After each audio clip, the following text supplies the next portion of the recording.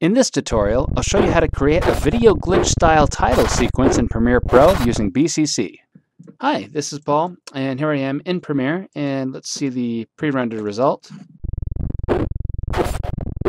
Okay, so there's a lot going on here. So you can see this is the timeline that created this title. And I'm going to focus today just on the glitch portion. Uh, the title animation was all done ahead of time but I used BCC Title Studio to do it. We have more tutorials online for that product, so check those out when you get the chance. Um, but first, let's just focus on the glitch today. So, Video Glitch, that's a really cool filter. It's in the Stylized category.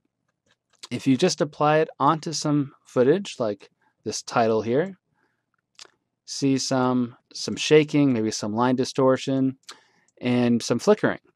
So there's a lot of different things this filter can do. It can be a little overwhelming. If you're in a hurry, I say just go to the effects browser.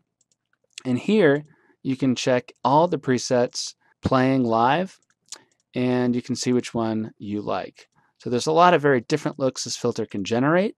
Um, these presets probably cover everything you would need, but I'll show you how to customize it anyway.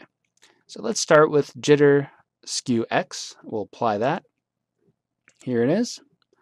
So let's say you want to make some changes to this effect. Well, the fastest way to make changes is to adjust the seed parameters. So at the top of the filter, uh, first you have a global intensity, but you also have seeds. So this will randomize the settings that you already have. Very useful tool when using the filter multiple times. So what are all these other parameters then? Well, you have block damage, you have shift, shake, and flicker. These are what give the filter its characteristic look. If I turn them all on, it can be a little hard to tell what each one is doing. So to help with that, we have Curve View. If you turn on Curve View, you get a graph of each parameter and when it's happening. Okay, so let's simplify this and get rid of everything except shake. So shake is this blue line here. So it's very clear when it hits that spike, it starts shaking. So I can use this to tell when the effect should be happening and what my changes are doing. So if I change the intensity, I can see how it affects there. If I change the position, you can see how it affects the graph as a whole. It affects the timing all these things that are easier to see when you know where you're looking. Okay, so that's one way you can help navigate these parameters. Um, I also recommend looking at the help file, which goes into much more depth than I can right now and does a good job of explaining what each of these things does. Okay, so let's customize the effect I just made a little bit more. I do want to use block damage. And again, we have the graph. So how do we know if we're actually seeing it or not? Well, let me increase the size and increase the amount and increase the opacity. Okay, so if I scrub now and I still don't see anything, oh, there we go, right there. Okay, so let's do some other changes. Let's change the apply mode to multiply, turn up the pattern complexity. This gives it like the JPEG damage look, which I think is really cool. Let's increase the intensity and the run length. All right, nice. So we have some good block damage on our text. That was the big thing I wanted to add. Shift, I was happy with. Uh, shake, I do want to change the dimensions. So I want to increase the shake Y to 20 and bring down the shake X to like 3. So very different look in just a few seconds, making some very minor changes. Okay, so we have that set up there we have all these other titles. We're going to add glitches to them too. So I'm going to do a little trick now. Now that I've got this looking how I want it, to make that larger text appear in front of itself like you saw there, like the small directed by and then the big one, it's a very basic trick. I just duplicated the text and enlarged it. It's a very straightforward way to make this change. So for this, I do have to go back into Title Studio, or I can just increase the scale here. But going into Title Studio ensures that the resolution of the text stays nice and sharp. Okay, so now we have the text on top of itself, and that looks kind of cool, but it's better if you eliminate the underneath text for at least some of that time so it looks like it really popped out. And another time there. Okay. So we have the pop-out text happening there with the exact same glitch we had before. Now let's randomize it and we can just change the intensity seed and the interval seed and then we get a different effect on top. Another thing we'll want to do is tone down the glitch when it's in the middle. So here I'm going to animate the glitch intensity. Just going to go forward a frame and set it to zero. It's kind of the nice thing about this effect is that sudden changes don't stand out. So I can leave that zero the whole time. And when the zoom in text happens again, it just looks normal. It's great. Okay, now between these two, first of all, let's add video glitch to this second name. I'm going to use this as the basis. So I'm just going to copy and paste that video glitch effect.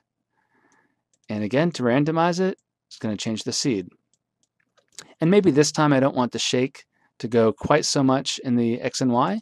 So maybe just 10 in Y, maybe 5 in X. And let's increase the RGB split though. So we get more color separation on the names. And let's also tone down that shift. Maybe bring down the shift group intensity to 25. So it makes it a little less insane. Nice. Same thing here. Copy and paste. Do the enlargement. So we have our super big text on top. And this time I'm going to leave it on top of the text here, but I'm going to remove the video glitch underneath it. Looks kind of cool that way. Okay, and a more traditional one here. And that'll be good. Okay, so that's how we have our crazy sporadic text there.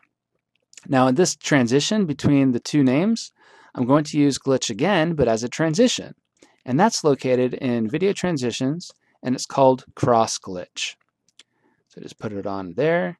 I want the duration to be about 12 frames or so. And there it is. And with all this craziness, I forgot to add a glitch to the drop down part.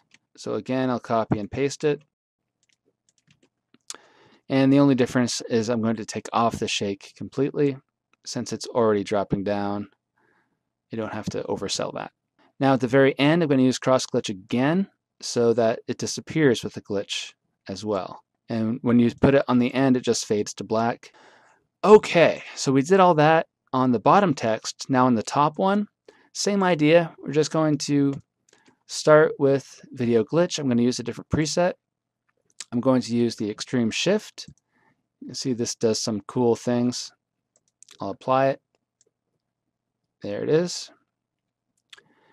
Now it might be a little too extreme here, so I'm going to go into that shift group again and turn the intensity of the group down to 50.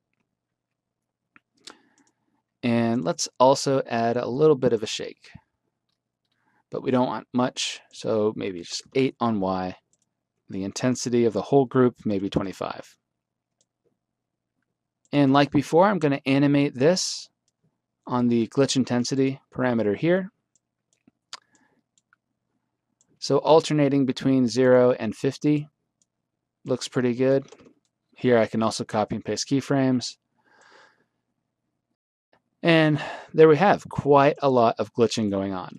Okay, now that's it for the glitch part, but to make everything else fit together a little nicer, I like to add a scanline effect. That's also in the stylized category. And scanline, I'll set up on the bigger text so you can see it.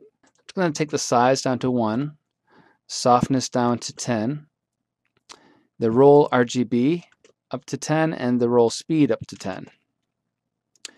Now mixed with original, we'll soften the whole thing up even more. So increase that to 65.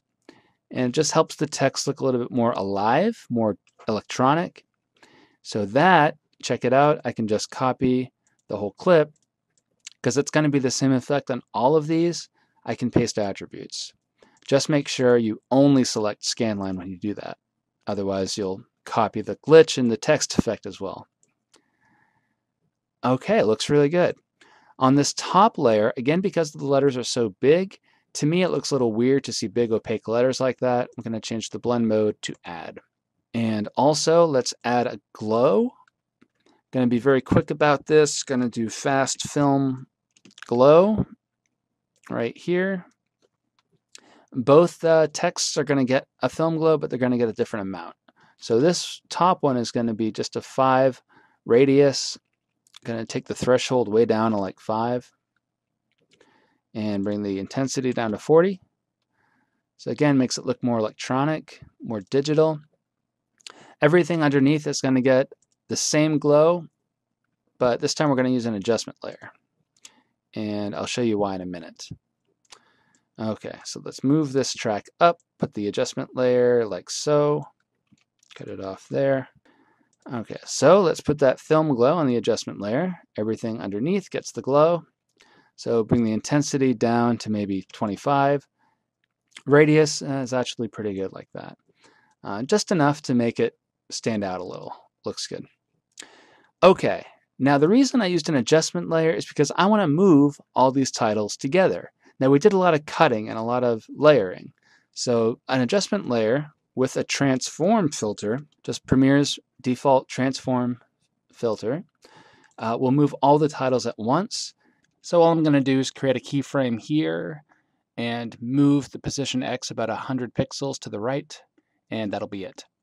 Okay, and the very, very last thing I'm going to do to the scene is add a background. So again, everything's going to come up one layer, and I'm just going to use a black video and apply a scan line to it. And again, just going to use a preset. And the one that I like is Fast and Fine. So now having the top title as a different apply mode makes more of a difference. You can even bring it down opacity wise a little bit. Looks good. And there it is. So thank you for watching. I've enjoyed making this tutorial. I hope you've enjoyed watching it. And if you have liked it and want to see more, you can see more tutorials on our website at borisfx.com.